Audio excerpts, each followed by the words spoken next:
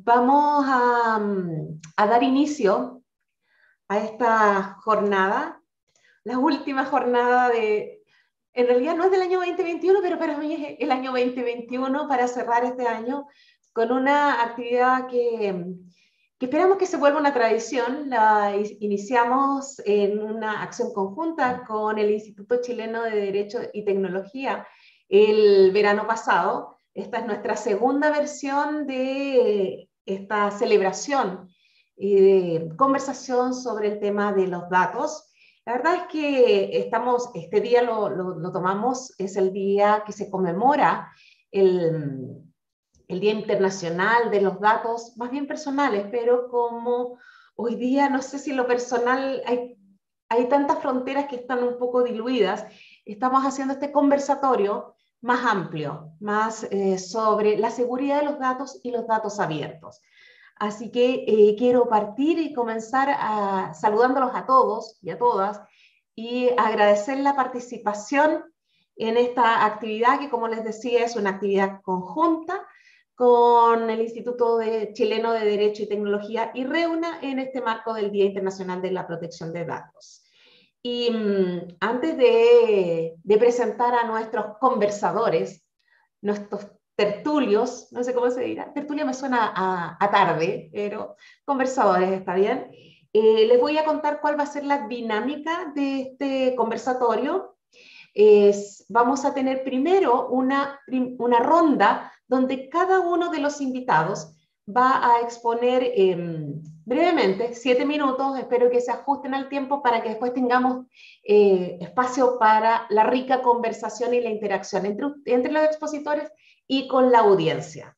Así que, sin más, voy a partir presentando a nuestra primera relatora. Voy a hacer un saludo a los tres relatores que están, a Isen directora de ANIT, a a Lorena Donoso, que la conocemos bien, de la casa, ella es parte de ICDT, también de distintas entidades, nos acompaña Patricio Urriola de mm, Abriendo Datos, de la Fundación Abriendo Datos, y luego se va a integrar Rodrigo Ramírez, que nos avisó que se integra tipo 11 de la mañana, para que tengamos esta conversación. Parto presentando a Aysén.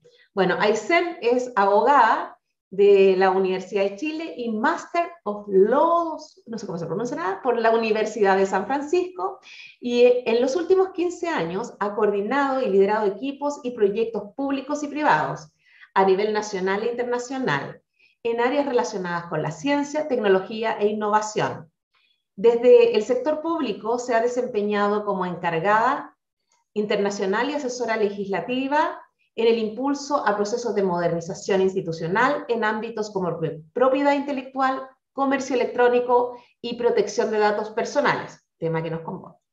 En 2019 fue designada como no solo la directora ejecutiva de la comisión, sino que la primera directora de esta recién creada Comisión Nacional de Investigación Científica em, de la agencia, perdón, de la Agencia Nacional de Investigación y Desarrollo, que es parte del Ministerio de Ciencia. Aysén, tú nos vas a dar esta mirada de la política de datos abiertos, la ciencia abierta, los avances y sus desafíos. Así que te dejo la palabra. Estaba perdón. Muchas gracias, Paula, eh, por la presentación. Eh, muchas gracias también a todos los que se conectaron y están interesados en estos temas.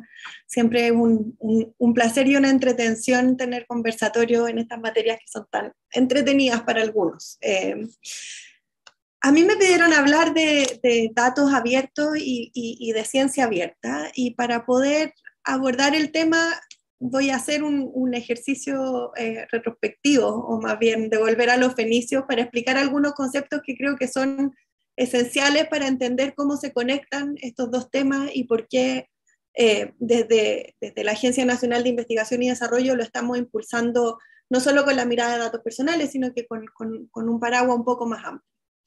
Y es algo que es súper sencillo, que es que cuando se genera investigación científica, esa investigación científica tiene resultados y esos resultados, eh, no el 100% de las veces, pero la gran mayoría de las veces eh, se, se, se, se, desarrolla eh, a través de publicaciones científicas o informes, documentos que se escriben, y la generación de datos asociados a esa investigación. Entonces, cuando miramos el resultado de un proyecto de investigación, en general tenemos esto, la productividad científica, papers, documentos, eh, divulgación, eh, formación de otras personas, pero también datos que son los que sustentan esa investigación que se realizó. Y cuando miramos desde la agencia, bueno, cuál es la naturaleza de esos datos, tenemos algo que comentábamos justo antes de partir la, la conversación, que Muchos de esos datos son datos personales, pero muchos de esos datos no son datos personales. Eh, como resultado de una investigación científica, tenemos datos de observación de la Tierra, datos de observación del cielo, tenemos datos vinculados con las mareas, con las temperaturas, con, eh, qué sé yo, el derretimiento de los hielos, eh, la contaminación y así sucesivamente. Datos vinculados con animales, datos biológicos y además datos personales. Entonces, frente a ese universo súper diverso eh, de, resultados de la actividad científica. Hace alrededor de dos años atrás, cuando empezamos con, ya la construcción de la Agencia Nacional de Investigación y Desarrollo, dijimos, bueno, ¿cuál es nuestro rol en términos de eh, el uso y el aprovechamiento del conocimiento que se genera con los fondos públicos? Y la conclusión a la que llegamos no nos gustó mucho. Eh, dijimos, bueno, aquí nosotros invertimos un montón de plata en que se genere nuevo conocimiento eh, y sin embargo ponemos poco esfuerzo en, eh, en, en, que ese conocimiento se divulgue, se masifique y sea utilizado por otros miembros de la comunidad científica y por el público en general. De hecho, cuando miramos la inversión que se hace desde el Estado en su conjunto en términos de protección, de, cerrar ese conocimiento versus la inversión que se hace en términos de abrir ese conocimiento, eh, que debiera ser la regla general, dado que el conocimiento es un bien público, está extremadamente desbalanceado. Eh, le ponemos muchas fichas a la propiedad industrial, que tiene eh, bordes en el fondo que impiden el acceso abierto absoluto, le ponemos eh, ponemos mucho resguardo en la protección de datos personales, que está muy bien, y así tiene que ser, no lo digo como algo negativo, pero no invertimos en el desarrollo de este bien público que es tan importante y fundamental para el desarrollo del país, que es el conocimiento que se genera, que no es el protegido, es el conocimiento en general, ¿verdad? Y que es la regla general. Entonces, esta, esta, eh, desequilibrio en los esfuerzos que hacemos desde el Estado por abrir versus lo que hacemos por cerrar, nos llevó a abordarlo con una política de acceso a datos y información científica que hemos estado impulsando en el último tiempo. Y, ahí déjenme contarles un poco cuál ha sido esa experiencia. Nosotros propusimos una política de acceso abierto y el, primer paso fue tratar de entender cuál era eh, el estado del arte en la comunidad científica respecto de acceso abierto y por lo tanto hicimos una consulta pública. Y como resultado de la consulta pública eh, recibimos eh, una serie de comentarios eh, de distinta naturaleza, pero, pero la principal conclusión fue que existía poco conocimiento y existían pocas capacidades para poder abordar los temas de información científica abierta y de datos científicos abiertos. Y en el ámbito de los datos, la falta de capacidades eh, y de conocimiento de cómo esto opera era aún mayor. Hay un estudio que hizo la CABID, que es la Asociación de Redes eh, de Bibliotecas de las Universidades del CRUCH, donde establecen que menos del 70% de las universidades tienen políticas de datos, por ejemplo, o de datos de acceso abierto, o cuentan con repositorios para poder tener estos datos. Y eso es un problema estructural mayúsculo, ¿verdad? Eh, porque aquí tenemos aspectos culturales, aspectos técnicos y capacidades que tienen que empezar a instalarse. Lo segundo que vimos es que eh, hoy día, y ya volviendo a esta lógica de que los espacios que son más cerrados están más desarrollados, sí tenemos eh, una normativa en ciencia que está bastante avanzada en términos de protección de datos. De hecho, eh, ocurre no desde la ley, sino que ocurre desde los mismos comités de ética, y cuando se hace investigación científica que afecta a animales o a personas, existen lineamientos y existen no, son normas duras, pero prácticas en torno a la protección de los datos que ahí se generan. Nosotros desde la agencia, la semana pasada o antepasada, ya no recuerdo, de hecho publicamos los primeros lineamientos de ético en investigación en ciencias sociales que aborda parte de los desafíos que tiene que ver con el trabajo y el manejo de datos personales en el contexto de la investigación. Entonces, ese escenario que, hoy día eh, no es ideal, porque vemos que tiene un montón de capacidades, sí es un espacio eh, de oportunidades gigantescas. Cuando entendemos y miramos el resultado de esa consulta pública y nos damos cuenta de que al menos a nivel de titular existe un consenso de que el conocimiento que se genera con, bien, con fondos públicos tiene que ser tratado como un bien público y que la regla general es la apertura y la reutilización y que las excepciones deben funcionar como excepciones vinculadas a la propiedad industrial, a la propiedad intelectual o a los datos personales. Entonces, podemos realmente empezar a pensar en la construcción de un acervo de conocimiento nacional eh, que está compuesto hoy día no solo por la productividad científica, sino que también por los datos que se generan en el contexto de la investigación científica. Esa oportunidad y desafío eh, hoy día es la que estamos explorando desde la agencia y desarrollando. Eh, creamos un fondo el año pasado eh, de investigación en educación superior, de, no voy a equivocar con la cifra, pero creo que eran 2.500 millones de pesos, eh, que fueron destinados a las universidades precisamente para crear estas capacidades, para que las universidades tengan no solo repositorios para poder trabajar con datos de investigación científica, sino que además tengan políticas de acceso que permitan la utilización y reutilización de acuerdo a estándares abiertos de los datos y la información que se genera con fondos públicos, eh, que tengan políticas que consideren, por supuesto, la protección de los datos personales y que se empiece a generar también una cultura en torno eh, al uso de estos productos eh, resultado de la investigación científica. Y lo segundo, y probablemente lo más importante, diría yo, es que logramos generar un acuerdo con todas las universidades públicas y privadas del país en torno al acceso a datos y información científica. Y esto eh, es fundamental porque en el fondo eh, partimos de este titular, el conocimiento que se financia con fondos públicos o un bien público, y nos comprometimos universidades y agencias a trabajar para que esto se transforme en una realidad y que efectivamente cuando hablemos de información y de datos que vienen de la investigación científica y que son financiados con fondos públicos, los podamos trabajar eh, y los podamos almacenar y los podamos compartir de acuerdo a estándares de acceso abierto. Eso es un acuerdo que hoy día está en curso. Eh, el primer, la primera reunión del directorio eh, de, esta, de, esta, gobernanza en el fondo fue hace unas dos semanas atrás y ya tenemos una agenda de trabajo que va precisamente eh, orientada a eh, identificar cuáles son esos estándares con los cuales compartimos datos y información, a identificar cuáles son los componentes tecnológicos que deben desarrollarse al interior de las universidades y de la agencia para que el compartir sea posible, eh, y destinado a pensar cómo invertimos y utilizamos de mejor manera los recursos que hoy día se van en pagar acceso eh, a principalmente revistas cerradas, pero también a bases de datos que están cerrados, cómo avanzamos en utilizar esos recursos de una manera que eh, también contribuyan a la generación de capacidades dentro de nuestro ecosistema. Eh, entonces, eso es como el panorama general de lo que hemos visto. yo creo que hoy día estamos en un punto de inflexión. el mundo se está moviendo hacia el acceso abierto. Eh, el desarrollo científico requiere de este acceso abierto para poder realmente masificarse y también responder y tener accountability, como dicen los gringos. Eh, y en el caso de Chile, hemos logrado construir una comunidad de propósito en torno a avanzar en esta dirección.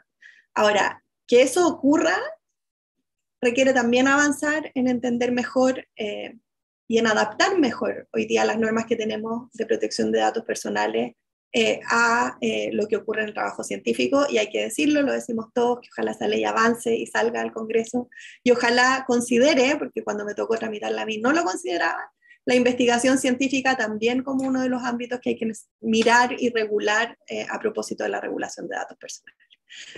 Así que no sé si me pasé o me quedé muy corta del tiempo, Paola, pero por ahí iban mis consideraciones. Está muy, muy bien. Muchísimas gracias, Aysén. Y bueno, eh, me imagino que ha sido un trabajo duro esto, eh, difícil, pero sin lugar a dudas, desde la perspectiva de lo que nos toca como Reuna y la promoción que nosotros hacemos, el, abordar esta línea es fundamental para el desarrollo. Hay mucho, mucho dato que está, que se ha creado, que es invisible y por lo tanto tenemos una gran mina que minar y que trabajar y un gran potencial para avanzar. Así que felicitaciones y después vamos a dar la palabra para las consultas. Voy a presentar a nuestra segunda invitada de la casa, nuestra querida Lorena Donoso, y para que nos des también, Lore, una mirada desde la academia, también desde la academia, desde la investigación y de la seguridad de los datos. Eh, para los que no conozcan a Lorena, ella es abogada, magíster en informática y derecho de la Universidad Complutense de Madrid, diplomada en educación a distancia de la Universidad de Quebec y diplomada en, de estudios avanzados en filosofía del derecho por la Universidad Complutense de Madrid. Actualmente se desempeña como profesora asociada de la Facultad de Derecho de la Universidad de Chile y consejera del Instituto Chileno de Derecho y Tecnología. Así que, Lorena, sin más presentaciones, te dejo la palabra para que complementes esta mirada que nos ha puesto sobre la mesa Aysén. ¿Estás sin audio, Lorenita? Ahí, hola, buenas tardes, eh, buenos días.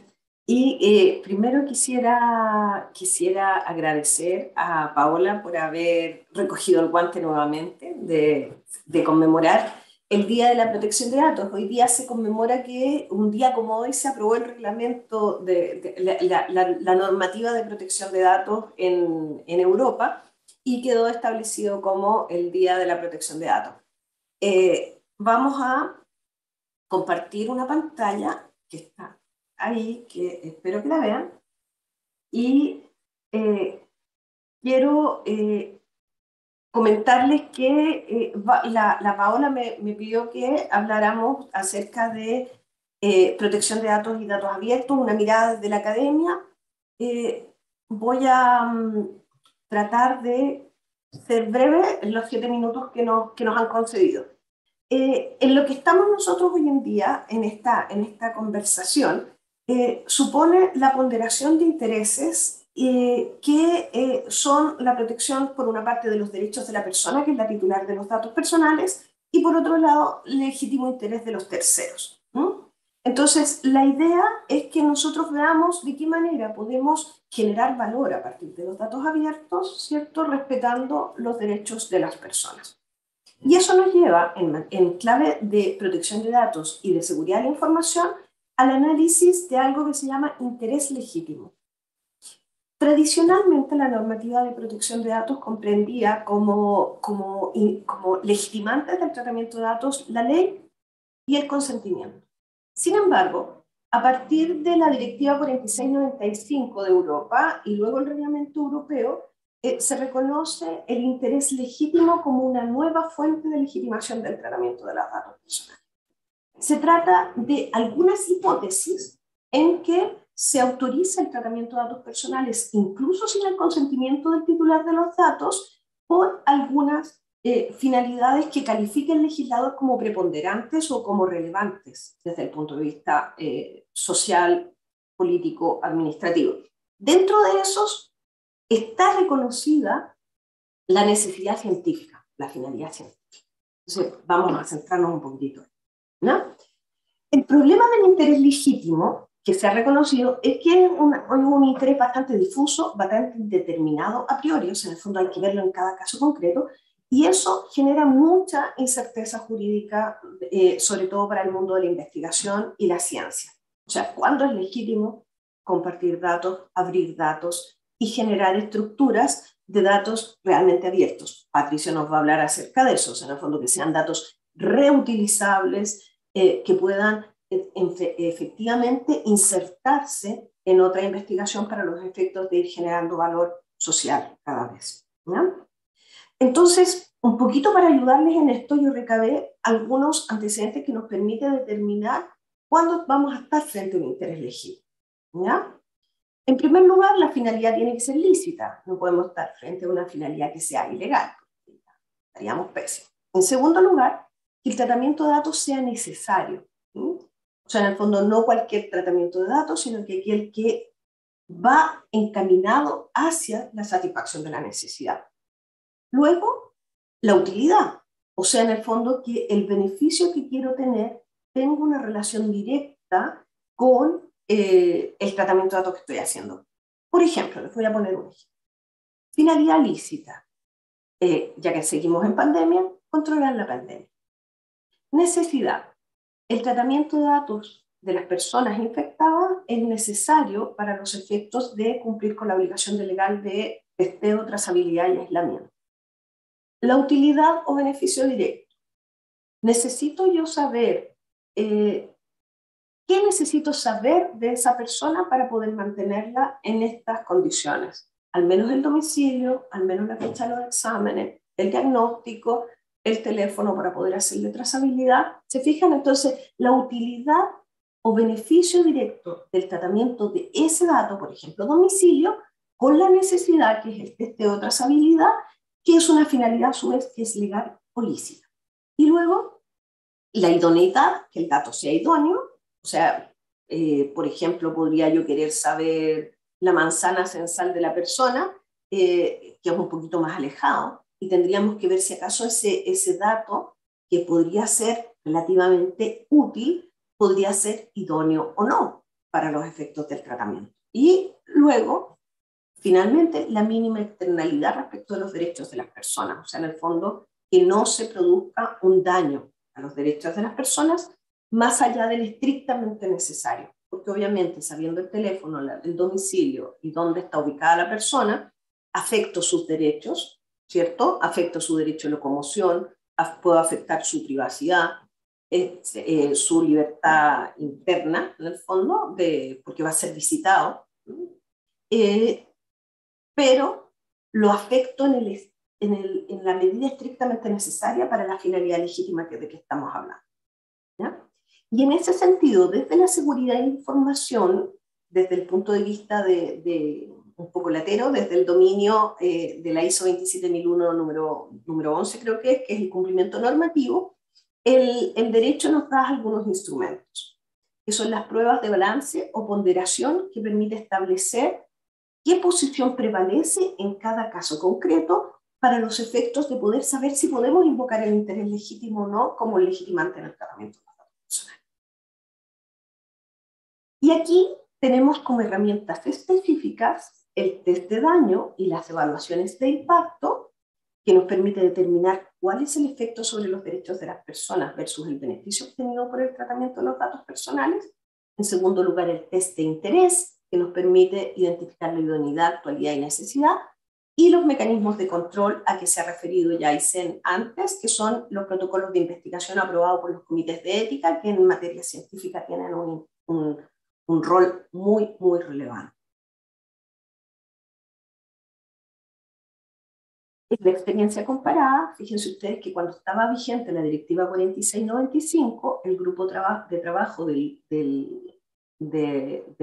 se llama grupo de trabajo número 29, del artículo 29, que en el fondo se refiere a la Carta Europea de Derechos Fundamentales, donde se establece la protección de datos como un derecho. Eh, da, se, ha tenido algunos pronunciamientos en relación al interés legítimo. Aquí les, les, traigo dos ejemplos que en realidad los, los obtuve, es importante citar la fuente, de un artículo súper bueno que se los recomiendo, se los puedo adjuntar, de otro consejero del ICT, que es Pablo Contreras, en relación a, a la construcción del interés legítimo que les puede, que les puede servir. ¿no? Pero fíjense ustedes que ya en 2014 se señalaba que los fines históricos o de investigación científica y la satisfacción del interés público general cabían dentro del interés legítimo. Eh, y en esta otra opinión lo mismo, el procesamiento de datos con fines históricos, científicos, estadísticos, con fines de investigación, incluso la investigación de mercado.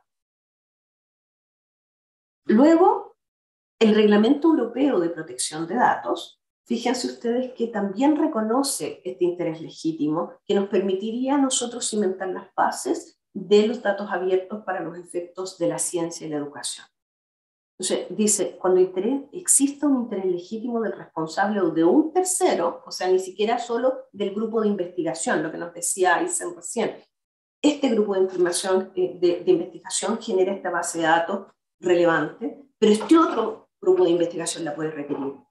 Entonces, un tercero. siempre que dichos intereses no prevalezcan los intereses o los derechos y libertades fundamentales del interesado que requieran protección de datos personales, ¿ya? en especial cuando sea un niño. Entonces ahí establece este balance y ponderación que se puede aplicar con las reglas antes señaladas. ¿ya? Ahora, ojo que cuando se trata de las competencias de un organismo público, no estamos hablando de interés legítimo, sino que estamos hablando del ejercicio legítimo de las facultades del órgano público, por ejemplo, una universidad estatal, por ejemplo, la ANI o las municipalidades. A su vez, también el reglamento europeo nos provee otra herramienta interesante, que es la evaluación de impacto del tratamiento de datos personales para los efectos de poder evaluar cuál es la externalidad negativa que tiene ese tratamiento de datos respecto de las personas. Y lo bueno que tiene esta norma es que es bastante descriptiva, así que los invito a utilizarla. ¿no? Entonces, nos, nos, permite, acá los pasos a seguir, nos permite ir generando eh, la, la, evaluación del impacto. ¿no? Eh, a su vez, el reglamento eh, después podemos profundizar en esto, ¿ah? porque ahora solamente les quiero mostrar el panorama general. El reglamento contiene otras, otras herramientas que son la pseudonimización, o sea, el, asignar una, un número único, podría ser, a una ficha determinada o eh, que permita de alguna manera reutilizar los datos sin afectar la privacidad de las personas y la anonimización de los datos, que también nosotros lo hemos utilizado mucho en los convenios con universidades, por ejemplo, para los efectos de salvaguardar la identidad de las personas y permitir el generar valor a partir de datos creados eh, en investigaciones previas. Ahora, respecto a lo que decía Isel también, eh, esta semana eh, se aprobó en el, en el Senado, por fin, salió y pasó a Cámara de Diputados el proyecto de ley de protección de datos personales. La buena noticia es que el artículo 13 del proyecto de ley contempla el interés legítimo, se lo subrayé. Y si se fijan, está redactado en términos similares al Reglamento Europeo de Protección de Datos. Eh, cuando el tratamiento sea necesario para la satisfacción de intereses legítimos del responsable o un tercero, siempre y con ello no se afecten los derechos y libertades del titular. Eh, pero esto no afecta el deber de información. Entonces, es súper importante que los protocolos de ética, los protocolos de los comités de ética, los protocolos del comité de investigación y eh, el protocolo específico de la investigación sean dados a conocer y se encuentren, eh, ejerzan eh, en el fondo los, los, deberes de transparencia para que los participantes de la investigación puedan tener conocimiento respecto de lo que se está haciendo con la información que le concierne. ¿Ya? Entonces, en esta primera vuelta voy a llegar hasta ahí. Muchas gracias. Muchas gracias, Lore. Muy interesante lo que, que, nos, que planteas y, y, cómo complementas lo que decía Isen. Se nos va, va, corriendo el tiempo muy rápido, así que eh, sin más preámbulo, voy a aprovechar en este intermedio de agradecer a nuestra audiencia, recordarles que las preguntas las vayan anotando, no se olviden, ya sé que hay una para Lorena ahí esperando una vez que terminemos la ronda y contarles que ya se ha conectado Rodrigo Ramírez, así que en unos minutos le vamos a dar la palabra a él. Pero para continuar, vamos a, mm, voy a presentar a Patricio Urriola. Eh, Patricio es licenciado en Ciencias Políticas y Relaciones Internacionales de la Universidad Alberto Hurtado, promotor de la cultura de datos abiertos y se ha desempeñado como miembro del Consejo de la Sociedad Civil, el COSOC, del Consejo de la Transparencia. Actualmente es miembro de la comunidad global de Shaper Hub Santiago y Fellow HIP.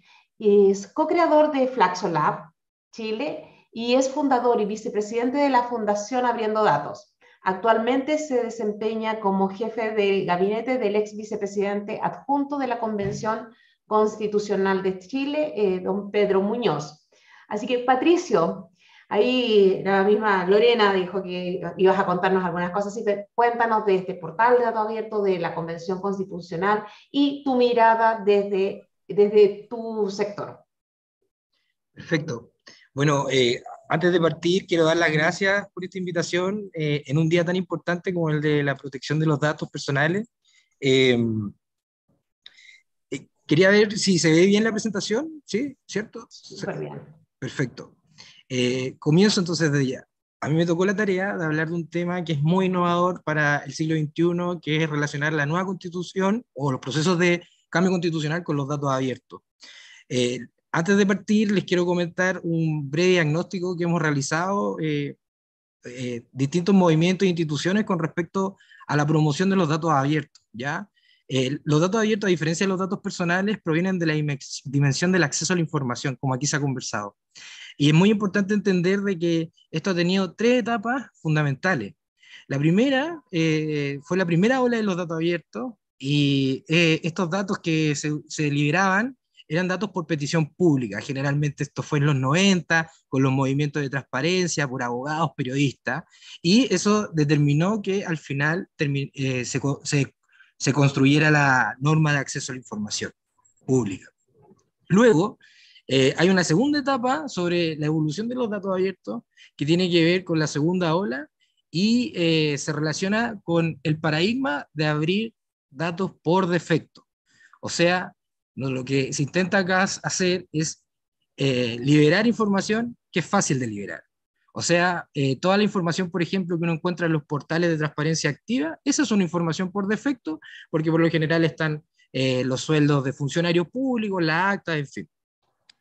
Bueno, esta segunda ola fue promovida por, el movimiento de los datos abiertos, que era mucho más específico y que, en el cual participaban tecnólogos cívicos, agencias gubernamentales y corporaciones, ¿ya? Todo esto en un marco de, de, gobierno abierto, que fue una política impulsada desde Barack Obama en el 2009, eh, y luego distintos países se sumaron. El gobierno abierto lo que busca en su principio es promover la transparencia, la participación y la colaboración con uso de datos abiertos. Y ahí la idea de datos abiertos toma más fuerza y se empieza a, a construir ya en un marco de política pública como tal. ¿ya? Y luego eh, avanzamos a la tercera ola de datos abiertos, que es la ola que actualmente eh, es la, la, que está en nuestro contexto, producto del COVID. Eh, lo que aquí empieza a pasar es que los datos que hoy en día están disponibles no eran suficientes, teníamos que salvar vidas producto de esto, y los datos abiertos empiezan a tomar un rol determinante, sobre todo para la calidad democrática del porvenir. ¿Y, ¿Y por qué digo esto? Porque los datos abiertos con propósito, a diferencia de la otra ola, co-construyen datos de abajo hacia arriba. O sea, vienen por lo general la construcción de esos datos desde los municipios, desde los gobiernos regionales. Esto lo utilizan los innovadores sociales, los makers, para dar una respuesta, o las startups para dar una respuesta con estos datos a las problemáticas del COVID. Y eso nos ha, no, nos, nos ha llevado a impulsar también la idea junto a distintas otras instituciones, como la OCDE, por ejemplo, de que es muy necesario para acercar los datos con propósito, ¿cierto? O sea, con un objetivo, con una finalidad, estos datos deben tener una gobernanza de datos. Por eso es muy importante lo que está ocurriendo en Chile con respecto a esta eh, apuesta de una agencia de protección de datos personales y también una agencia, por ejemplo, de ciberseguridad. ¿Cuál es el problema? Que estas se tienen que coordinar a nivel multinivel. Y para eso es muy necesario avanzar en la gobernanza de datos. Ahora, ¿por qué es importante que yo les pueda explicar esto para poder avanzar esto otro? Porque por lo general los datos abiertos no tenían una mirada, en, sobre todo en América Latina, eh, eh, una mirada sobre que esto se podía llevar a la norma, a la ley. Si había evidencia en Europa, en la Unión Europea, sobre normas de reutilización de información pública. Es por eso que como fundación y distintas organizaciones, instituciones públicas y privadas, a través de audiencias públicas, se comprometieron, a la Convención Constitucional en avanzar en estos criterios por primera vez en, en, en el mundo eh, y siendo un ejemplo. ¿Y, qué, y, y, cuál es el resultado un poco de esta demanda? Se traduce a nivel de reglamento general de la Convención Constitucional. El reglamento general eh, es lo que regula, ya es como el estatuto que le da orden a la conversación actualmente de los contenidos de fondo de la Convención. Y bueno, este reglamento que es único en su único como les, como les comentaba, señala que toda la información deberá estar disponible de manera accesible, usable, reutilizable, oportuna, gratuita y con la máxima divulgación posible. O sea, estamos hablando de los principios de datos abiertos que están incorporados en estas definiciones. Luego también hay, hay otro articulado que promueve el libre acceso a la información de forma adecuada, oportuna, transparente, lo vuelve a reafirmar. Y esto tiene que estar transparentado eh, en, en, una plataforma electrónica eh, que permita el fácil acceso y la reutilización de información pública. Entonces, bueno, esto ha sido un proceso de eh, muy rápido. Eh, la verdad es que nos exige todos los días preparar distintas innovaciones. Nos, encantaría desde la convención y desde los distintos espacios, testear, por ejemplo, las plataformas digitales que se van construyendo desde la convención, pero muy complejo porque tenemos muy poco tiempo. Imagínense que el reglamento empieza a operar desde el 8 de octubre y esta plataforma Open Data tiene que estar operativa desde ya. Entonces, ¿qué es, qué es lo que se hizo? Se le pidió a la infraestructura eh, de datos abiertos al Congreso y el Congreso nos facilitó esta infraestructura que nos está permitiendo tener el primer nivel de apertura de información por defecto y que lo van a poder encontrar el portal de datos abiertos en la página de la convención, como lo señala ahí este primer clic, un clic. Con el segundo clic van a encontrar eh, la página de datos abiertos de la convención, única en el mundo, ¿ah? y eh, van a poder encontrar algunas algunas informaciones que son relevantes, como por ejemplo el listado de convencionales, eh, el listado de comisiones y comisiones transitorias que han habido, que, es la información preliminar que estamos co-construyendo desde adentro para poder eh, liberarla y para que todos los, toda la ciudadanía se pueda informar, pero no solamente informar, sino que pueda también ocupar esto no como un mecanismo de transparencia como tal, sino que la apertura significa reutilización más que transparencia. Por lo tanto, generar nuevos servicios y productos. Bueno, y con el siguiente clic cuando uno entra a uno de estos listados, se encuentra con la descarga de la información. En este caso, eh, para los que quizás no están tan introducidos en la informática, les conviene más el Excel descargarlo y los que están más introducidos en la, eh, en, la informática se, lo pueden hacer desde las otras opciones. Eh, lo interesante acá es que desde incluso las palabras de Natalia Carfi, que es la vicepresidenta de la Carta Internacional de Datos Abiertos, que es la gran, la gran carta que promueve esta cultura internacional de los datos abiertos, es que Chile eh, se encuentra encaminado en un proceso constituyente para lo cual los datos también serán cruciales, que propone cada, cada uno de los candidatos, es real el problema que plantean y las posibles soluciones. Analizando datos abiertos sobre Chile podríamos tener una contabilidad, como decía Aysén, eh, sobre eh, los datos yo termino hasta acá, eh, pero eh, estoy abierto ahí a cualquier duda, sugerencia y bueno, los invito a visitar este portal. Este portal va a seguir mejorando su calidad. Estamos generando críticas para que este portal sea el mejor y de fácil acceso y también para que se pueda mantener a largo plazo un portal que genera un bien público, que un conocimiento abierto y que debería ser reutilizable eh, por el devenir del tiempo. Muchísimas gracias, Patricio. Muy interesante ver, y ver cómo se va avanzando en, eh, pasos concretos en el tema del acceso a la información, el acceso a los datos. Para cerrar esta ronda, voy a dejar con ustedes a un amigo de la casa, una persona muy querida, al igual que los, otros panelistas, eh, a Rodrigo Ramírez. Eh, voy a hacer tu presentación, Rodrigo, primero, y de ahí te doy la palabra. Bueno, Rodrigo es doctor en Industria Audiovisual y del Mercado Digital, MBA en Comunicación Estratégica, magíster en Comunicación y magíster en Gerencia Pública, periodista y licenciado en Antropología. Actualmente se desempeña como director e investigador del programa Políticas Públicas para el Desarrollo Digital de América Latina y el Caribe en Flaxo. Es presidente de la Cámara Chilena de infraestructura digital y no solo eso, también uno de los impulsores de la creación de esta cámara, investigador adjunto del Laboratorio de Comunicación Social de la Católica y profesor de la Facultad de Ingeniería de la Universidad Tecnológica Metropolitana. Además, es miembro del directorio de la Fundación Abriendo Datos, del que nos contaba también Patricio. Rodrigo, por favor, te doy la palabra para que nos cuentes desde tu mirada no solo desde la parte de la política pública y los derechos digitales, sino que también puedas agregar desde la mirada de la industria cuáles son los avances, cuáles son los desafíos, cómo se ve este tema. Gracias, Paola. Un gusto compartir con ustedes, Aysén, Lorena, Pato, un gusto estar con ustedes esta mañana, en este día tan especial como hacía alusión la, la Lore. Yo siento que voy a partir con una impresión que tiene que ver cómo este tema, que antes era propio de los expertos, cada día se ha ido ciudadanizando, que tiene que ver precisamente qué hago y quién hace cosas con mis datos, ¿no? El miércoles pasado, hace poquitos días, tuvimos un día, yo creo que histórico, en temas de cómo los temas de protección de datos ocuparon la agenda pública. Partimos con la ley de transformación digital para los trabajadores de plataformas digitales.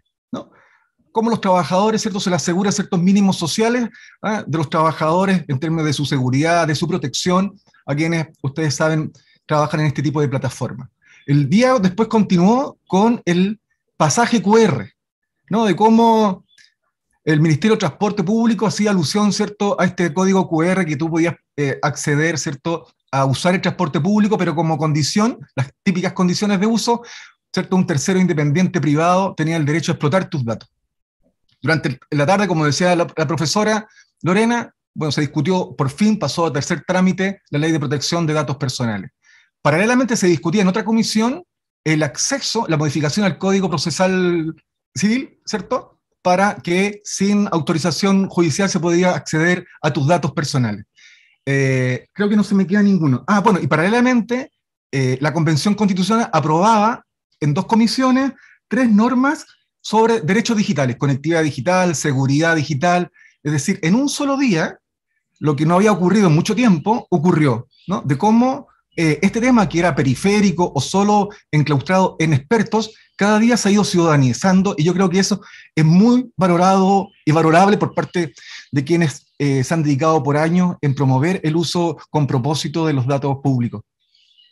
Yo creo que ese evento también dejó de manifiesto los derechos digitales en las ciudades, ¿no? y que tiene que ver precisamente cómo se aproximan distintos niveles de administración. Aysén ya no hacía alusión y que destacaba ¿cierto? la política de inteligencia artificial que, Chile se construyó hace poquito, que está en pleno desarrollo. Hay un índice de, de inteligencia artificial aplicada a los gobiernos y Chile, junto con Brasil, lidera. ¿No? Después viene Colombia, después viene Uruguay. Un informe que salió hace poquito está disponible en la red. Pero lo relevante, yo creo que a propósito de este caso, es cómo la gente en una tecnociudad que cada vez está más invadida de tecnología y por tanto de más datos disponibles, eh, se mm, apropia y cómo la autoridad política es capaz de dar cuenta de esa apropiación. ¿En qué sentido? Por ejemplo, a propósito de la seguridad pública y de la sensación de inseguridad, vemos que en el despliegue de la ciudad hay mucha tecnología, en los postes, cámaras de vigilancia, a propósito, ¿cierto? De eh, que es una herramienta o un medio para disminuir esta sensación de eh, inseguridad. ¿Qué hacen los países? ¿Qué hace Ámsterdam? ¿Qué hace eh, Seattle? ¿Qué hacen algunas ciudades del mundo? Bueno, pero esto tiene que ser contra resultado. Si yo le estoy diciendo a la ciudadanía, voy a poner en su pasaje o en su calle o en el límite entre Providencia y Las Condes más cámaras de vigilancia a propósito de que con esas cámaras voy a disminuir un 8% o un tanto por ciento la sensación de inseguridad, bueno, después la población le dice, bueno, usted me puso todas estas cámaras de vigilancia, después de dos años, evaluemos. Evaluemos si efectivamente estas cámaras disminuyeron, que fue la justificación pública para poner esta vigilancia en el espacio público.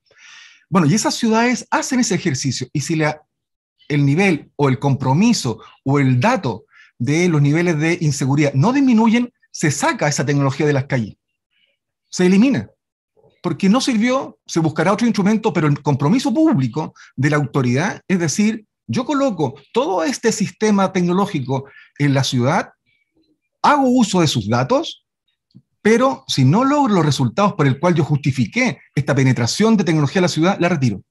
Eso a mí me parece un avance sustancial en el modo de convivencia de una tecnología al servicio del humanismo tecnológico, ¿no? Que yo creo que el, gran interfaz que nosotros necesitamos como país hoy día, de a propósito de lo que decía la profesora, lo que decía Aysén y Patricio, hay hoy día un nuevo cambio de paradigma que tiene que ver con el nuevo chasis institucional que se está discutiendo en la convención. No es posible hoy día hablar nada como lo hablábamos hace un par de meses atrás. Esa es como la primera lámina del PowerPoint hoy día. ¿no? Con eso nosotros debemos partir. El nuevo chasis eh, institucional y la nueva arquitectura que el Estado necesita, eh, y eso lo está dando la convención. Yo creo que ese marca un antes y un después. Eh, hay varias experiencias en materia de política pública aplicada a los territorios, como les decía anteriormente, de los, eh, de los derechos digitales aplicados en ciudad, que tal como dice la profesora Lorena, que no es más que los derechos humanos eh, aplicados en la esfera digital. Y en materia de política pública, ¿por qué es importante los datos? Ustedes saben que en Chile el, el consumo de datos estamos fundamentalmente casi a nivel de los grandes países en materia de consumo de datos por nuestras redes de telecomunicaciones, más del 75, hoy día 80% de todo el tráfico de las redes de telecomunicaciones en Chile son datos.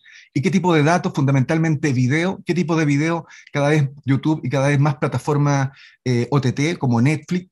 Hoy día en Chile existen 58,5 millones de servicios de telecomunicaciones contratados por las personas, 58,5 de 18, 19 millones, es decir, casi cuatro eh, servicios per cápita de servicios de telecomunicaciones, llámese telefonía fija, internet, el plan móvil, eh, TV cable, en fin. El consumo de datos en Chile pre-pandemia pasó de 5 a 7 gigas per cápita a hoy día a 15 gigas per cápita. Finlandia, que es el país número uno, tiene 16 gigas per cápita, Lituania 17. Esos son los dos países, luego viene Chile eh, y Turquía con 15 gigas per cápita a nivel global. Pero la red de fija, lo que estamos utilizando en las casas, ¿no? Eh, pasó de 100 gigas por hogar ante pandemia y hoy día estamos a 440 gigas por hogar. Imagínense el crecimiento exponencial que ha tenido el consumo de datos de Chile. Y obviamente esto, tal como lo dice la, la, PAO, bueno, todo esto es una infraestructura habilitante para, ¿no? Un medio para.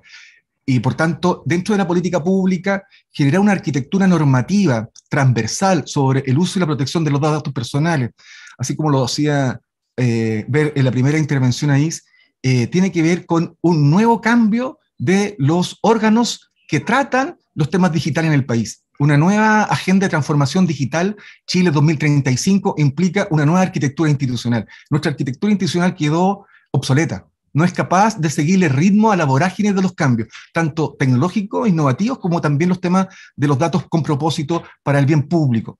Y en eso yo creo que el gran desafío que tiene la nueva administración ya no son temas de espectro, ya estamos sobre temas de una sociedad digital, ya no son temas solo que tienen que ver con la academia y la universidad, ya son temas que, ¿cómo le voy a proporcionar a las pymes o a las MIPYMES, ¿cierto?, la proporción de datos suficiente para mejorar su negocio. ¿Cómo le aplicamos, a propósito de lo que decía Patricio, los temas de seguridad eh, para la política pública en salud y cómo hacemos una trazabilidad eh, con las condiciones de uso conocidas por todos, cómo yo cambio el modelo de compras públicas ¿no? del Estado con estas garantías. ¿no? Yo le voy a dar la licitación de una aplicación de un servicio digital a un privado, bueno, pero la licitación pública tiene que estar las condiciones de uso, que es un problema que, que hubo ¿cierto? a propósito del pasaje QR. Entonces yo creo que a partir de la territorialización de políticas públicas que tienen que ver con eh, la seguridad y la, la, tecnología al servicio del humanismo, de la calidad de vida, se ha ido avanzando. Sí, hay desafíos desafíos, muchos desafíos, pero tiene que ver fundamentalmente con un Estado capaz de poner reglas de juego sumamente claras y, y, probar. Uno de los reclamos que nosotros hacemos es que la pandemia fue, un, fue un, laboratorio de innovación en tiempo real. La pregunta es, ¿de cuánto de eso aprendimos? ¿De cuánto, ¿Cuánta nueva regulación aprendimos a propósito de la pandemia? ¿No? ¿Cuánto de lo nuevo hay? Yo creo que la regulación quedó pasmada, quedó pandémica. Cuando era el momento de innovar, de probar, de hacer cosas distintas, no fuimos capaces de recoger ni, ni presentar otro esquema a propósito de la trazabilidad, a propósito de la seguridad pública, a través de educación. Bueno, la PAO ahí y ustedes del mundo de la academia lo pudieron ver como el mismo profesor tuvo que reaprender junto con sus alumnos, los papás tuvieron que reaprender acompañando a, los, a sus hijos haciendo clases, en fin, hubo todo un ecosistema que era un laboratorio en tiempo real y ahí nosotros debimos aprovechar esa oportunidad para innovar, sacar nuevas regulaciones, eh, normar de manera distinta. Yo creo que también es un déficit de la regulación que frente a este tipo de coyunturas queda pasmada. Eso, Pau. Muchas gracias, Rodrigo. Em, me gustó el concepto de ciudadanización de los datos, me parece interesante. Ahora, no sé cuánto nosotros como ciudadanos, más allá de conocer el concepto, entendemos las implicancias que, estos cambios tienen. Ahora, eh, voy a dejarle la palabra a Marcelo Maraboli de la Universidad Católica. Marcelo, tú tenías una consulta, por favor, para interactuar con eh, Lorena o con cualquiera de los contertulios. Adelante, Marcelo. Sí, eh, hola, buenas, buenos días, buenas tardes, ah, buenos días todavía. buenos días, por favor, todavía viernes. ya me quiero ir de vacaciones. Eh, una pregunta sobre la, la, la, nueva ley que se viene en camino todavía de la, de la protección de datos personales. y las garantías que podemos tener, porque finalmente se, se pretende eh, crear una agencia. Eh, sin embargo, hoy día hay una ley y no hay muchas garantías respecto al cumplimiento. Hoy día, hace varios tiempos, me he metido a las farmacias, porque yo creo que son una de las instituciones que menos cumplen la protección de datos personales, por lo menos a mi parecer. Y quería saber, eh, y me meto a las páginas web de las tres farmacias más grandes, y eh, en una he visto que hablan de derechos ARCO y están bastante bien eh, explicitadas que uno puede pedir rectificación, acceso, incluso cancelación de los datos que y obviamente lo voy a hacer. Pero hay otras farmacias que en sus páginas web solo hablan de los, borrar las cookies, dijéramos, y, y algunas otras cositas. Mi pregunta es, eh, con la nueva ley y esta agencia, ¿qué garantías tenemos de que si ejercemos nuestros derechos, ARCO, las instituciones efectivamente la cumplen? Eh, ya. A diferencia de la ley 19.628 que hoy día tenemos vigente, el, el proyecto de ley aprobado trae un régimen infraccional. Y ese régimen infraccional eh, eh, tiene dientes, es bastante más incentivador a cumplir la norma. Porque en el fondo el gran problema que tenemos de la, ley, hoy día es que tenemos una institucionalidad frágil y difusa. Y en segundo lugar, que la, infracción no se ve. Si bien hay un régimen infraccional muy débil, que, es en el fondo el, el solicitar una indemnización de perjuicios en el Tribunal Civil, que puede llegar más o menos a 5 millones por persona afectada por el tratamiento indebido, la verdad es que eso no ha, no ha tenido efecto. Sin embargo, la autoridad de control que se pretende crear, que es la Agencia de Protección de Datos, tiene la facultad de aplicar multas. Entonces, eso es un buen incentivo y se puede recurrir a esta autoridad para que esta autoridad sea la que ejerza los derechos por, ti o que genere las infracciones correspondientes y las multas correspondientes.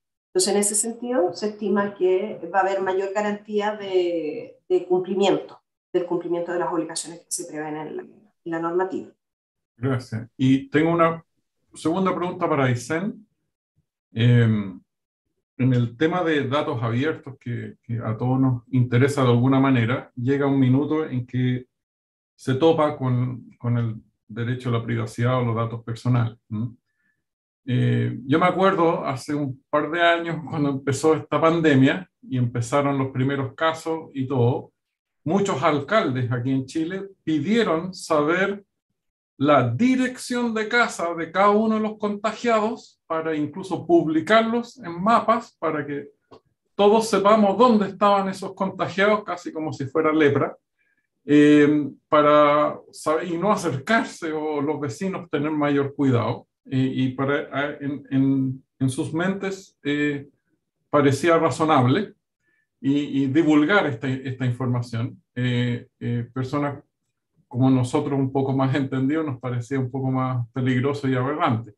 ¿Dónde, dónde está el límite, Aysén, en tu juicio, entre el acceso a datos para el bien común o el acceso libre versus medro de las libertades individuales?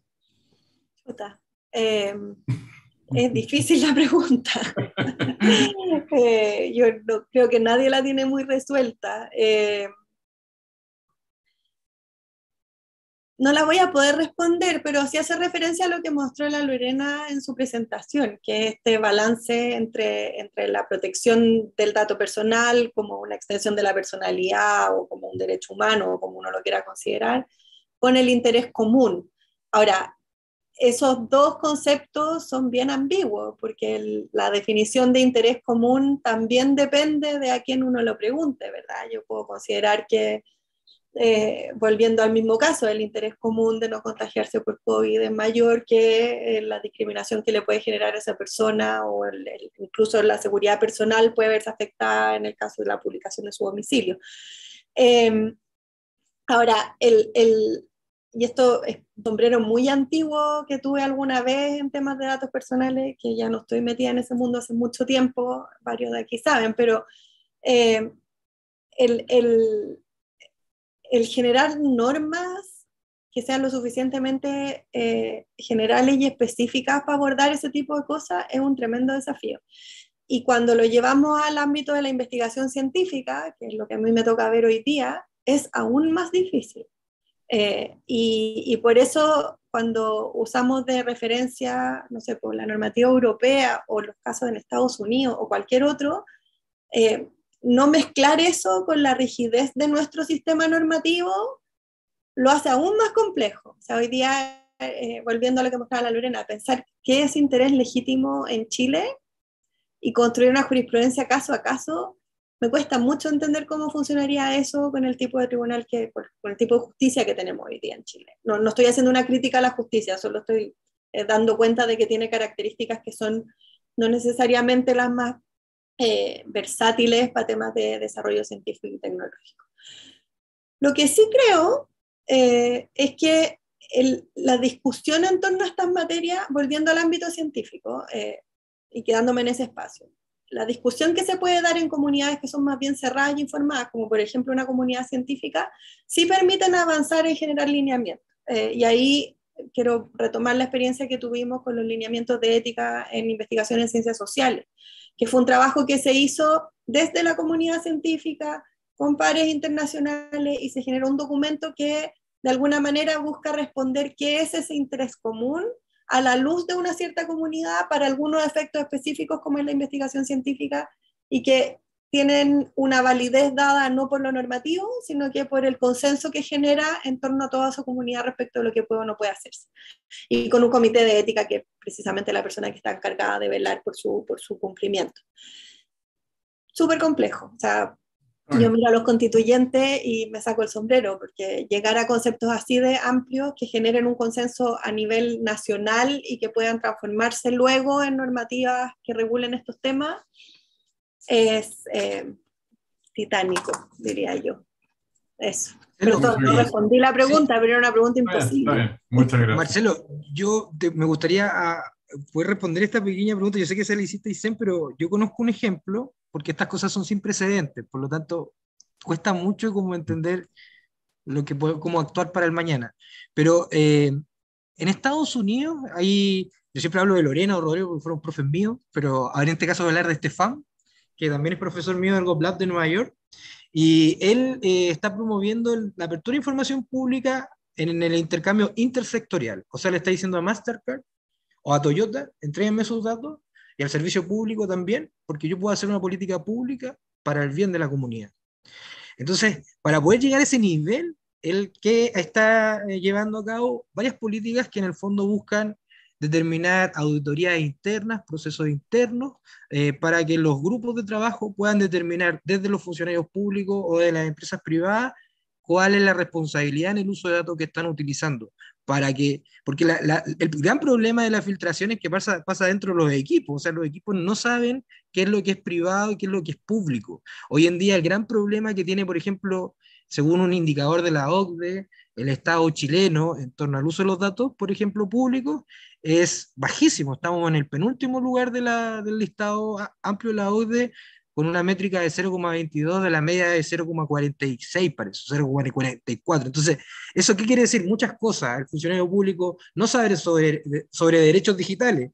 A nosotros nos pasó, nos pasó que la Fundación Abriendo Datos nos, invitó, nos invitaron desde la Subsecretaría de Derechos Humanos el año pasado, porque la Subsecretaría también tiene que tomar el rol de promover la responsabilidad en los funcionarios públicos en el uso de los datos. Entonces, eh, eh, yo te podría decir que también en el marco legal está en ese nivel, pero a nivel de política pública, ahí hay unos detalles de la bajada que, que la auditoría, igual es muy complejo poder hacer auditoría interna.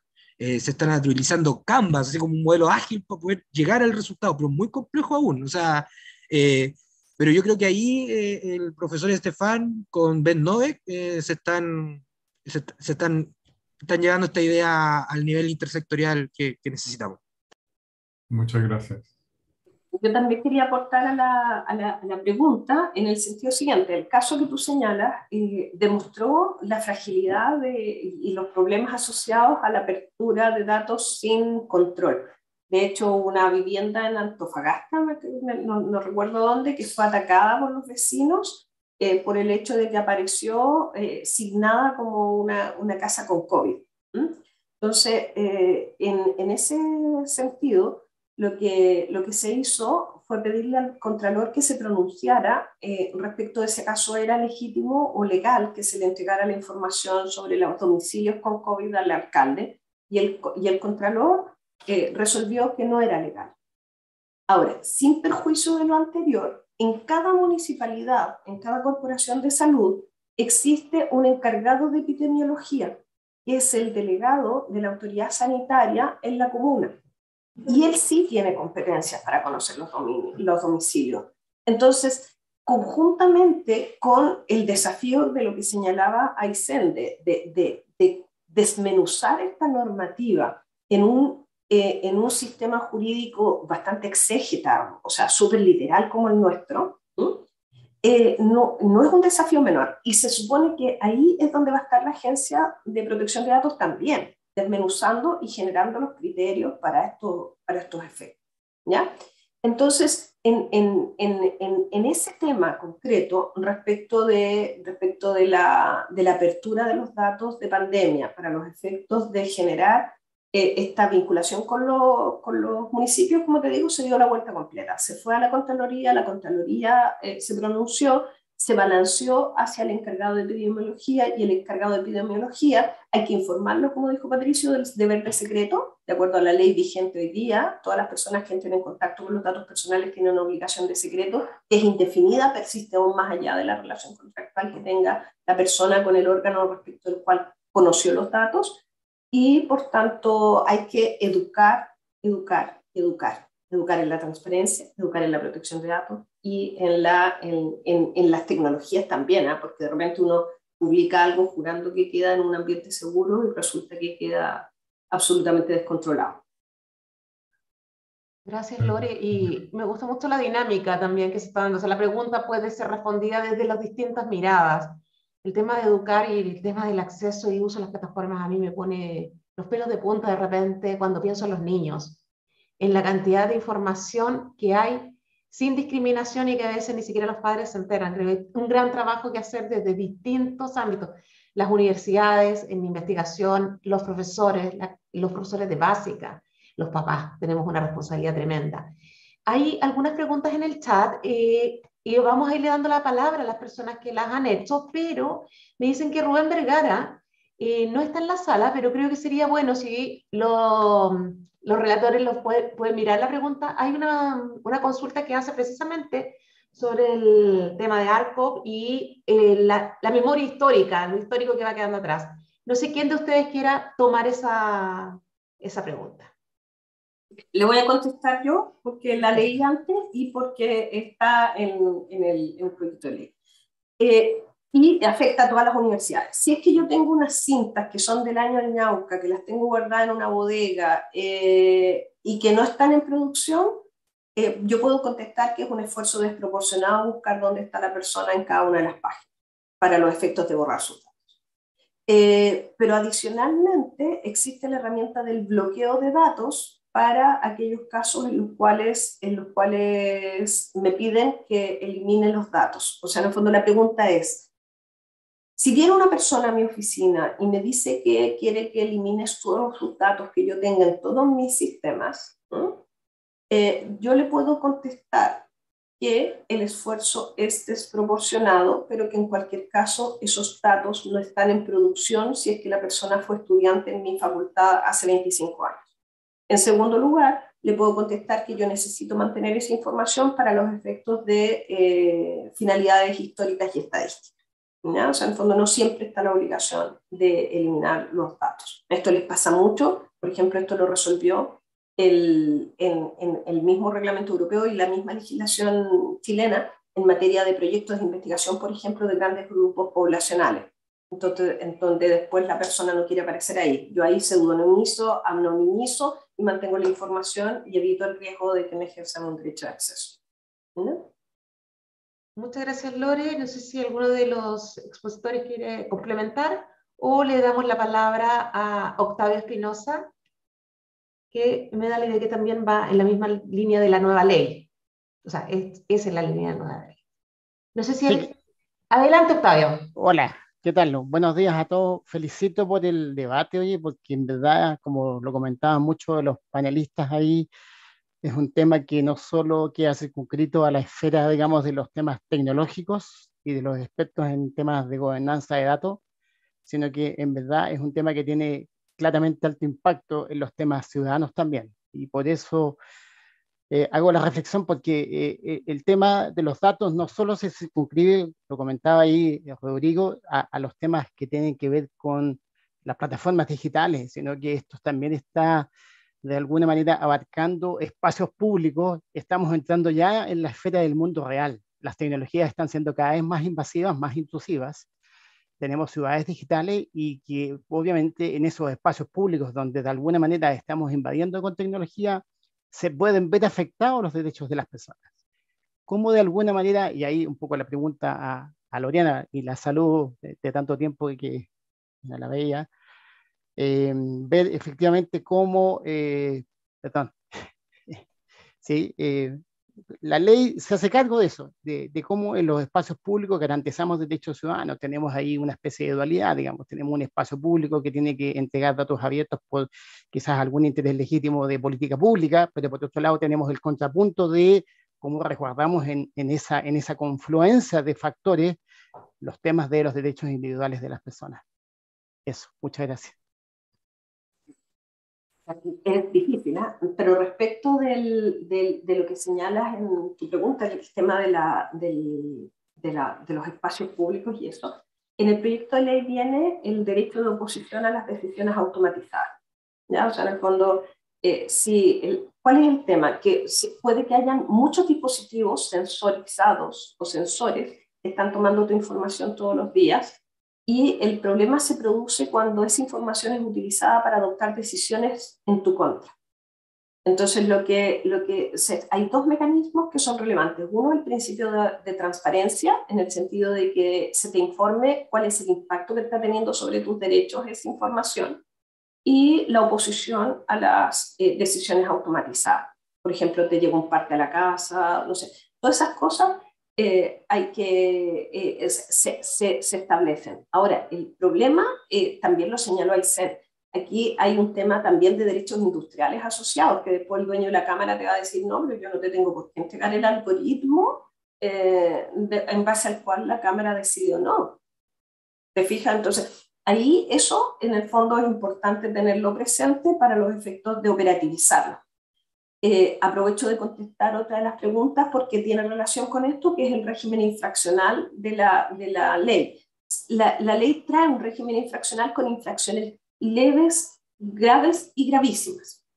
Y el nivel de las multas que establece están en las, eh, les digo al tiro, eh, las infracciones leves van con multas de 1 a 100 unidades tributarias mensuales, 100 UTM, las graves de 101 a 5.000 UTM y las gravísimas de 5.001 a 10.000 UTM. Ahora, hay otro tema relevante que no es solo las decisiones autorizadas, ¿qué pasa si se filtran los datos? ¿Ya? Si se filtran los datos, el proyecto de ley trae la obligación de reportar las vulnerabilidades de que haya sido el efecto del sistema tienen que reportarse a la Autoridad de Control de Protección de Datos y adoptar las medidas de mitigación para los efectos sobre los derechos de las personas. Lo que decía Rodrigo es verdad, estamos viviendo en una sociedad absolutamente sensorizada donde, donde las tecnologías están entrando al cuerpo de las personas y por tanto ya no solamente son los datos sobre mí, sino que soy yo que estoy expuesto en las redes a través de la información de mis órganos y de mi cerebro incluso. Entonces, este tema es crítico y lo, efectivamente a mí yo celebro mucho que esté eh, bajando al impacto social y que la gente esté tomando conciencia de la importancia y no se mantenga en la esfera de los tres gatos que nos llamaban los talibanes de la protección de datos tradicionalmente. Muchas gracias, Lore. No sé si Rodrigo o Patricio dicen quisieran complementar lo que está hasta ahora. No, a, mí quizás eh, hay un ejemplo muy interesante, Octavio, que te, te sugiero que puedas revisar, que el ejemplo de Canadá, en Toronto. Google se metió allá con todo, armar una ciudad inteligente, el propósito era la felicidad de los habitantes de la zona, llenaron de, sensores los barrios y la ciudadanía se dio cuenta en un momento que lo estaban sensoreando y, y preguntó. Eh, y eso llevó a muchas cosas. Entre medio de eso, se dieron cuenta que la licitación nunca había sido participativa, por lo tanto, el, en el periodo de pandemia que ocurrió, el proyecto se cerró. Entonces, siempre se habla como de lo, las buenas prácticas, pero nunca de los fracasos. Yo creo que también es importante entender de que hay fracasos en, en este marco sin precedentes que nos ayudan a orientarnos, y esto también se debe a que muchas veces nos fijamos la transformación digital en la industria, por sobre las personas. Bueno, ahora estamos en el contexto donde las ciudades inteligentes ya no pueden solamente aportar a la productividad, sino que también a la calidad democrática, porque si no, no tiene sentido. Eso. Muchas gracias. Excelente punto, Patricio. Voy a dejarle la palabra a Mauricio Matoli. Mauricio, pues, quisiera Ahí está, con la palabra. Hola, muchas gracias. Sí, yo creo que muchas algunas de las preguntas Lorena ya las contestó, así que muchísimas gracias.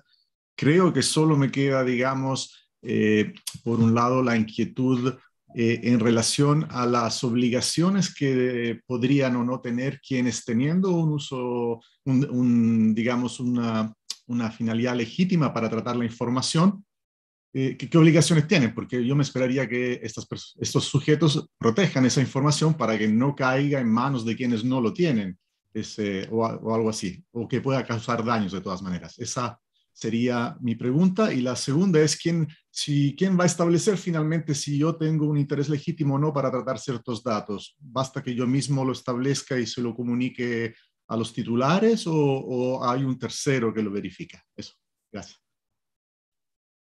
Eh, a ver, el responsable del tratamiento de datos tiene la obligación, se llama de responsabilidad demostrada, debe eh, acreditar el interés legítimo que le, que, le, que, le, permitiría hacer el tratamiento de datos. O sea, en el fondo la prueba recae en...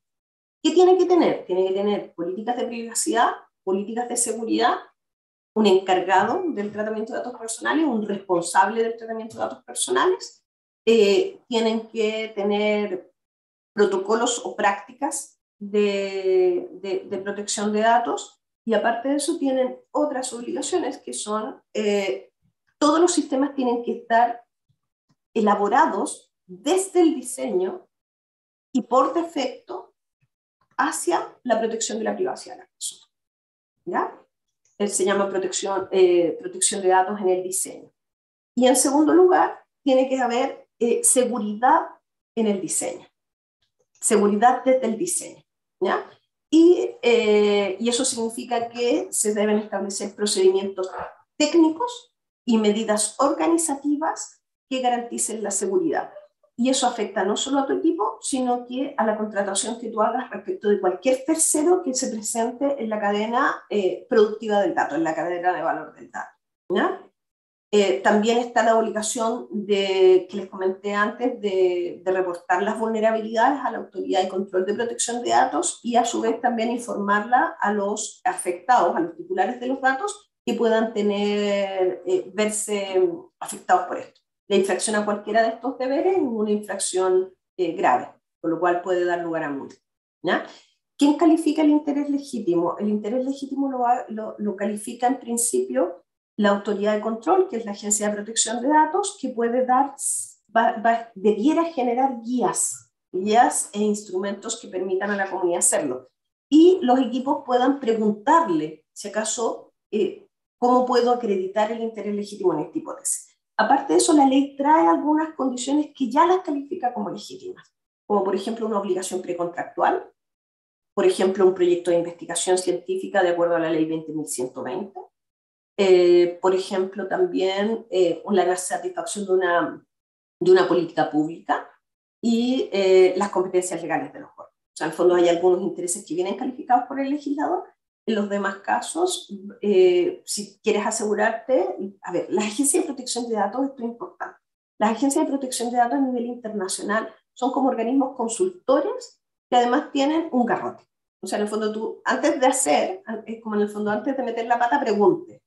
Y la agencia de protección de datos te toma de la mano y te ayuda a que tu proyecto cumpla con los estándares normativos, ¿ya?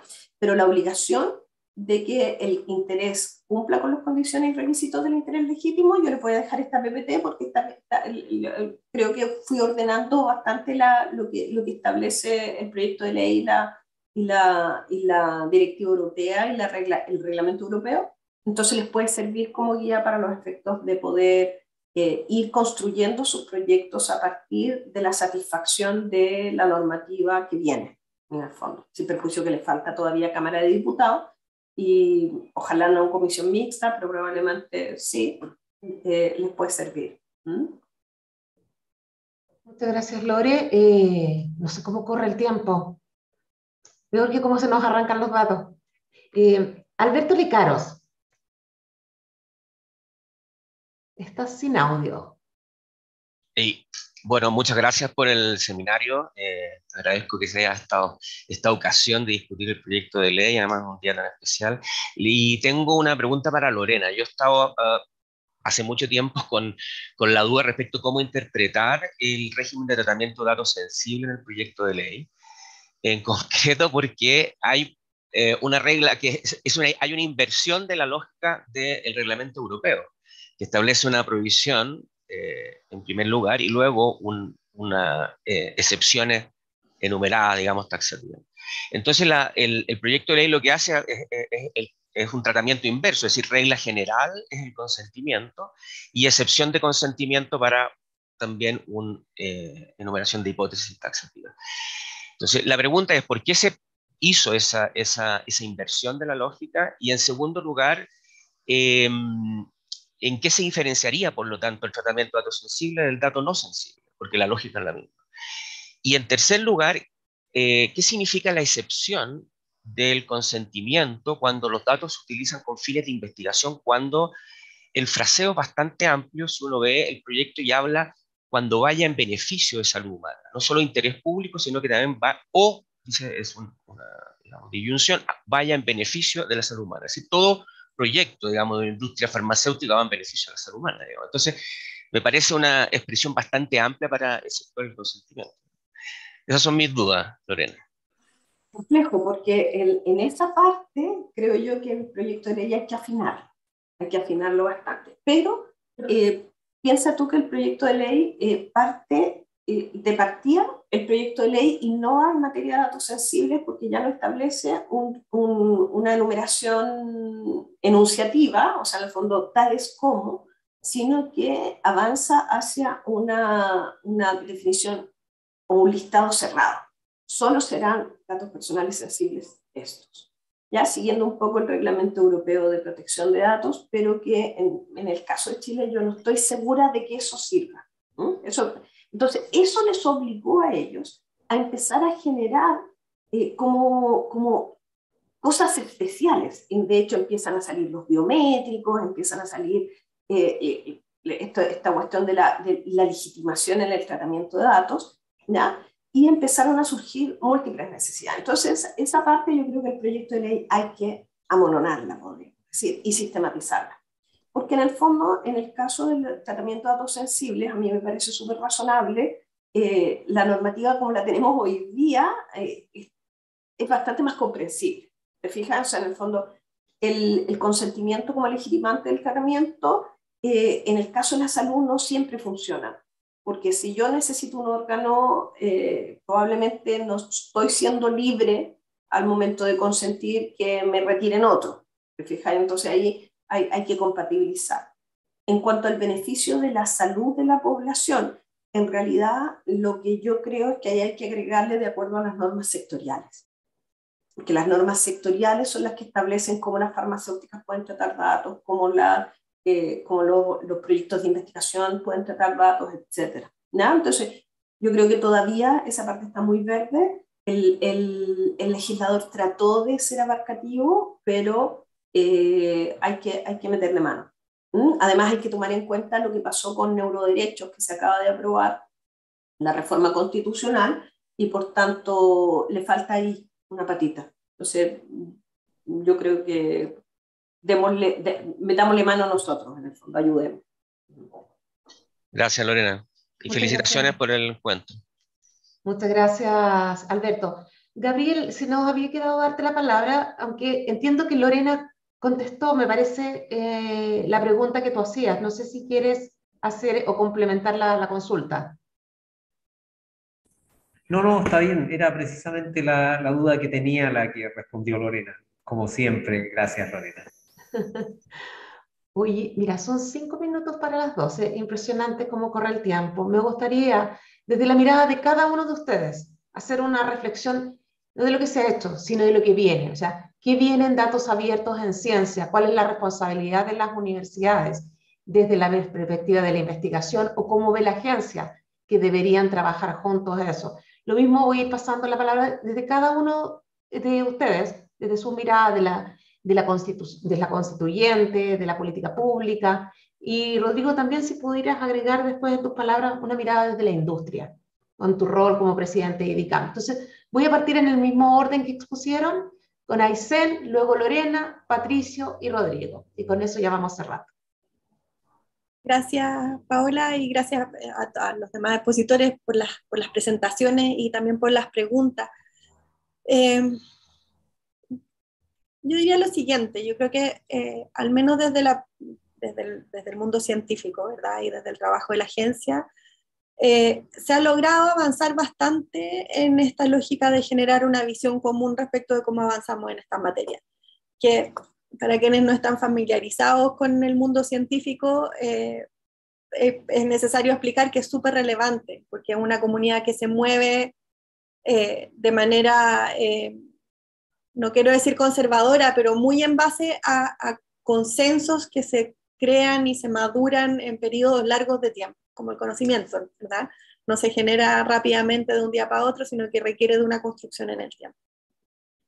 Ese esfuerzo es uno que tiene que sostenerse en el tiempo.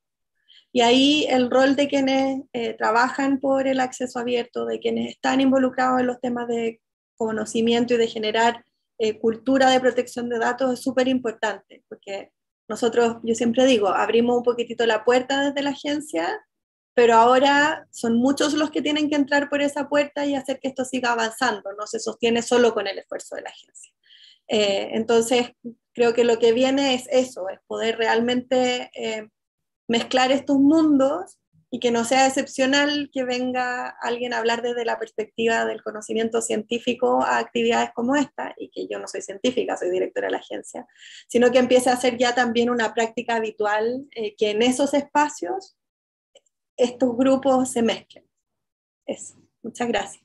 Muchas gracias, Aysén. Sin duda, estos son esfuerzos que hay que preservar y que hay que prolongar en el tiempo. Y eso es responsabilidad no solo del gobierno, sino que también de los ciudadanos y, por supuesto, de las universidades. Lore, desde la perspectiva de la academia, ¿cuál es el rol que tú ves hacia futuro en lo que dice Aysén y en otros ámbitos como la implementación de la ley y eh, los aspectos de la protección de los datos?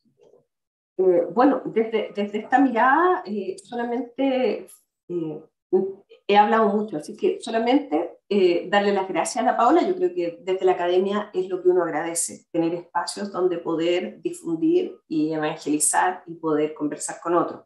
Así que en lo que viene, yo creo que va a ser el año de la protección de datos, de la protección de datos y los datos abiertos porque hay que aprender a abrir datos, porque los datos abiertos generan valor social, valor científico, crecimiento nacional, crecimiento y desarrollo humano. Hay que compatibilizar y aprender a compatibilizar esa propiedad. Muchas gracias, Lore. Patricio, ¿desde dónde estás tú parado? Cuéntanos. Yo creo que súper rápido, hay, hay, un texto que escribimos con Lorena Rodrigo, Carta Magna Digital, tercera ola de los datos abiertos y social información, y les recomiendo leerlo porque hay algunas reflexiones eh, en torno a este punto, eh, y eh, ahí qué es lo que abordamos, que la constitución va a eliminar lo que se le llama silos horizontales, ya decir, existen los hilos técnicos en la interoperabilidad de información, cuando, no, cuando dos cosas están en nubes distintas, por ejemplo, y no se comunican, ya a nivel de agenda pública pasa lo mismo. Eh, el devenir tecnológico ha generado que se generen distintas normas, la de protección de vida privada, ¿cierto? Eh, es 1999 y la de acceso 10 años después. Nunca se comunican, no hay una mesa de trabajo, no hay una gobernanza. ¿Qué es lo que viene ahora? Que la constitución nos va a hackear el sistema. Por lo tanto, vamos a partir todos de los mismos principios. todos con las mismas normas, no se va a fragmentar esta gobernanza y vamos a poder impulsarla. ¿Y por qué hablo mucho de la gobernanza de datos? Porque es muy importante aspirar a tener una infraestructura estatal de datos como la que tiene Estonia, ¿cierto? Pero para llegar a eso hay que gobernar la información. Y eh, yo me quedo con eso y también con, con, la apuesta de la nueva constitución, creo que tiene eh, cosas muy innovadoras sobre la gobernanza en Internet, la gobernanza de los datos, que yo creo que es clave para el devenir de esta era. Muchas gracias, Patricio. Rodrigo. Oh, yo creo que estamos en un momento súper relevante. ¿En qué ámbito? En la capacidad que tengan los gobernadores regionales, que ha sido mi última obsesión, de construir planes maestros de desarrollo digital y de datos con propósitos a nivel regional. Porque uno dice, mira, ve las noticias, eh, los alcaldes del sector costero de la quinta región a propósito de las altas tasas de COVID y las playas llenas, ¿no? tenemos las más altas tasas de COVID y la gente va, ¿no?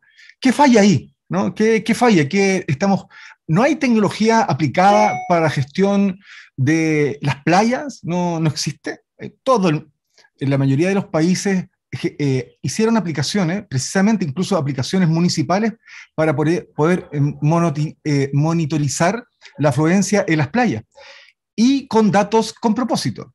Por ejemplo, en el Ayuntamiento de Barcelona hay cámaras térmicas que monitorean la ocupación de las playas y permiten garantizar el cumplimiento de las restricciones del aforo ¿ah? vinculada al COVID. El sistema garantiza la, la privacidad de los datos personales, las cámaras captan las imágenes cada cinco minutos, la envían a un servidor seguro. Mira lo relevante saber dónde están tus datos a propósito de los servidores, que fue una polémica, recuerden ustedes, de la comisaría virtual. ¿Por qué Amazon se lleva los datos fuera del país? ¿no? ¿Y por qué no hay una política, como decía Patricio, de infraestructura estatal, donde ciertos datos que son sensibles para la población estén también en servidores públicos o en servidores del Estado? Eh, que pueda garantizar esa confianza digital. Eh, bueno, los servidores anonimizan la imagen, la, eliminan, la parte no anonimizada, eh, procesan la imagen y en tiempo real, en la página web del Ayuntamiento de Barcelona, los ciudadanos pueden saber si pueden ir al valle o no, porque pueden ver la cantidad de aforo que hay en ese minuto.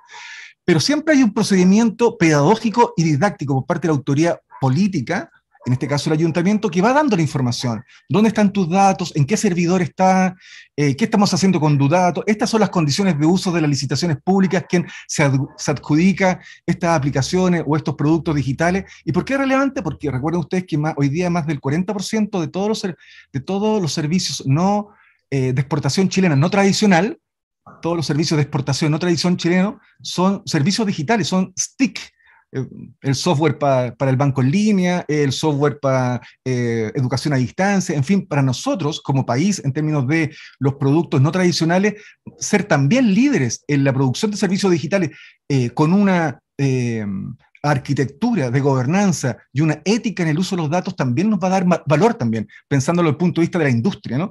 Porque la industria en, materia de infraestructura, claro, asegura la seguridad de extremo a extremo. Hay otras aplicaciones, ¿cierto? Y otros servicios que, son, que no son regulados y que responden más al mundo de la, de la, comunicación, pero en materia de infraestructura, fibra óptica, hay resguardo de la información que transita por ahí, hay resguardos también en, en materia astronómica, el uso de datos, hay resguardo en materia de lo que está haciendo a propósito del cable de fibra óptica austral y lo que está haciendo con Reuna de generar pelos de capacidad para eh, la investigación científica. Es decir, en materia de infraestructura hay una conciencia y una inversión sostenida de lo que significa aumentar la capacidad del país en gestión del dato. Eso, pero eso es una cosa.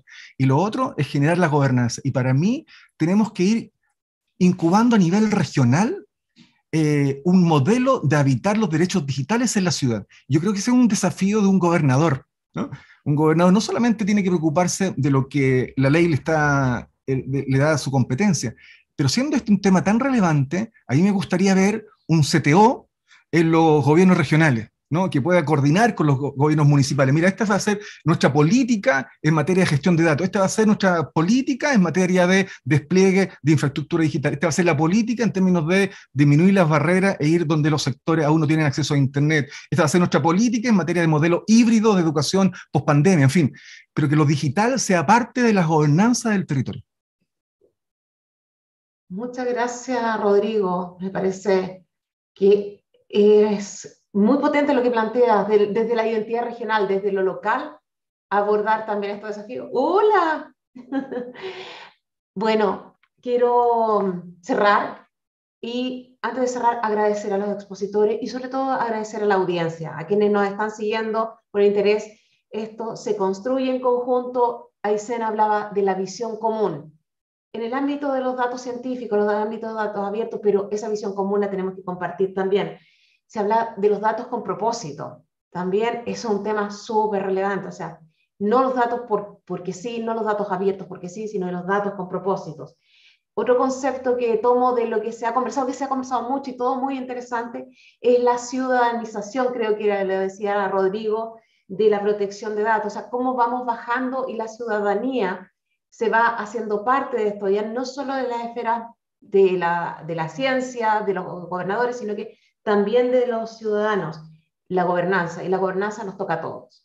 Eso es muy importante. Así que desde el rol que nos toca como REUNA y en conjunto con ICDT, está nuestro compromiso para seguir abordando estos datos, para darle continuidad. Esto no se puede, y yo creo que tampoco va a ser que se oculte, porque es un tema que ya está, que, quedó y que tenemos que trabajarlo. Así que, Lore, no sé si tú como ICDT quieres decir unas palabras, yo como Reuna les agradezco a los que van a salir de vacaciones, dentro de los cuales estoy yo.